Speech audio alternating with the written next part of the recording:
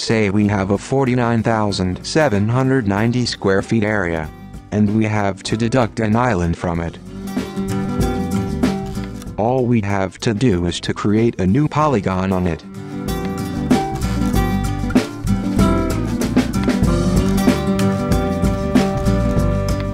When the polygon is locked, let's give it the name hole, for example.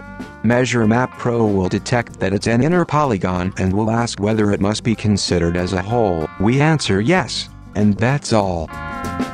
We can see that the area has been reduced by 2,788 square feet, which is the area of the hole we have deducted.